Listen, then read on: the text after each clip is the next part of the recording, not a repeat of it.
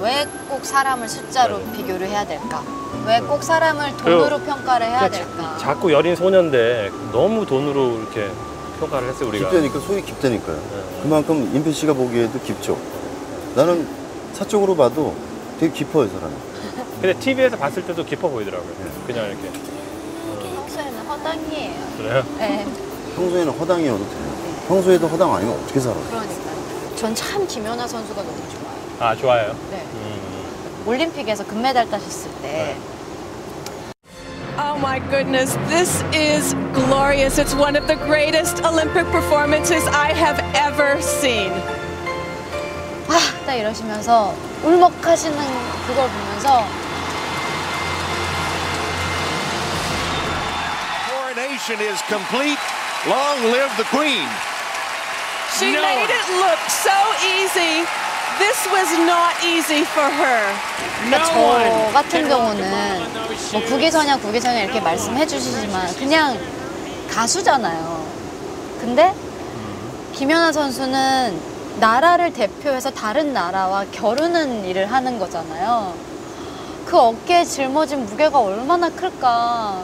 음. 그거를 무사히 맞췄을 때 아. 그 기분이 얼마나 짜릿하면서 안도감이 들면서도 얼마나 긴장이 풀릴까 하면서 그거 보고 울었거든요. 비슷한 위치에 있었기 때문에 동병상련을 느끼, 느끼는 거죠. 그죠? 저는 김연아 선수 너무 대단한 것 같아요.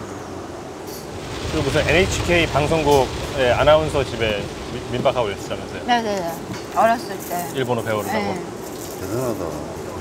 맨 땅에 헤딩하는 거 아니야? 부모님도 대단한 것 같아요. 부모님도 대단하신 것 같아요. 굉장히 방목적으로 키워주셔가지고 저는 선배님 자녀분 홈스쿨링 하신다고 네, 6학년 때 했었어요. 저는 홈스쿨링 정말 찬성하거든요. 어, 어. 왜냐면 제가 일단 학교를 안 다닌 게 자랑은 아니지만 학교를 못 가는 여건이었고 받아주는 학교가 없었거든요. 음. 왜냐면 한국에서 반년, 일본에서 반년 이렇게 왔다 갔다 생활을 해야 되니까 그래서 생각을 했던 게 내가 정말 이 길을 선택을 했다면 나는 일단 우리나라에서 욕 안 먹을 정도의 학벌을 갖추긴 해야겠다라는 생각이 들어서 그래 그래도 고졸은 해야지 해서 고1 나이 때 고등학교를 이제 검정고시로 대단하구나.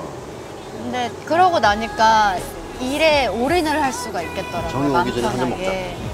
제가 일본에서 데뷔를 해서 오리콘의 6회 연속이었나? 하여튼 일본에서 1위를 제일 많이 한 여가수 중에 또 2위래요. 최초, 최초. 1위는 아니고 역대 2위인데 네다섯 번째 되니까 앨범을 낼 때 앨범을 잘 만들어야지 보다는 아 이번에 1위 안 하면 또 뭐라 그럴 텐데. 1위 해야 되는데. 1위를 못했어요. 그때 너무 행복하더라고요. 아 내가 다시 올라갈 수 있는 곳이 생겼구나.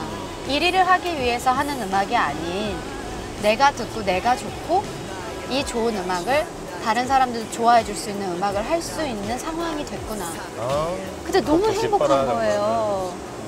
그거 좋지 뭐. 네. 어릴 때 왜 가수가 가수의 길로 접어든 그 나이가 있잖아요. 네. 13살인가? 네. 그때로 다시 돌아간다면 네. 똑같이 이번에 했던 선택을 하시겠어요? 아니면은 그냥 평범한 학생으로서 살고 싶어요? 아니 근데 저는 보아라는 인생을 절대 후회하지는 않고요.